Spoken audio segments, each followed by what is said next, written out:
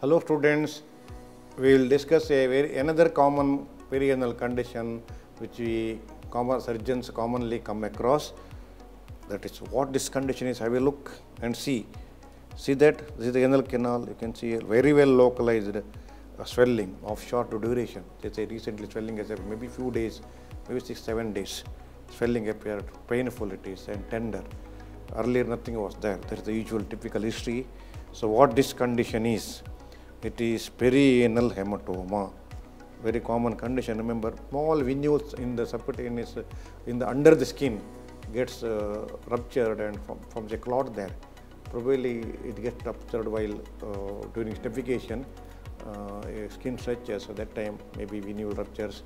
Sometimes uh, pre-existing sentinel pile uh, clot occurs within that or external pile, pre-existing tag, skin tags, clot occurs within that and forms a perianal hematoma. Per se, de novo can occur or existing external skin tag or external pile or sentinel pile can cause perianal hematoma. De novo is quite common, remember. They come with that, they think it is piles.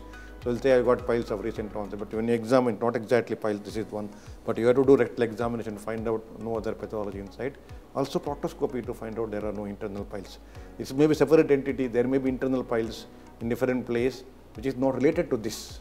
That also possible. So, you should do PR, rectal examination, you should do uh, proctoscopy in this patient. Sometimes it may be painful, of course. It is not as painful as a fissure in ano, remember.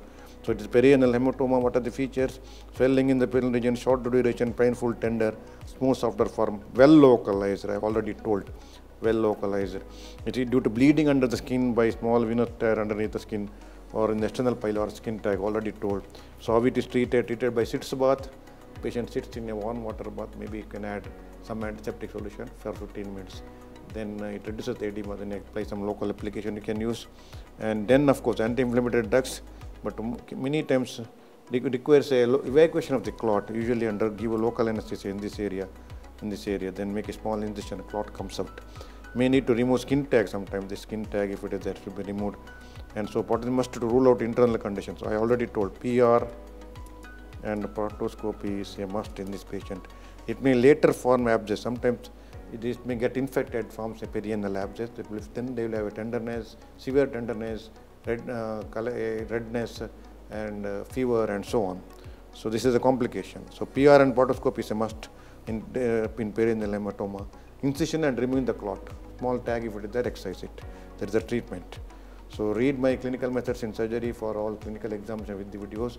Read my manual for detailed explanation about all topics surgery with the MCQs, with the uh, case scenarios, need my operative surgery, everything, all procedures in detail is given with the illustration and photos, tissue approximation, with the suturing technique, how to do, with the video backup. My DigiNerve lectures, uh, very popular and covers everything, all topic lectures, including specialties, operative surgery, exercise, instrument specimens, and uh, through Jaypee publishers, and covers all lectures. Please subscribe for a year it will give a very good knowledge and you can face the exam very well useful for PGs also. So students, I hope you understood uh, uh, this lecture, perianal hematoma very well. Thank you very much.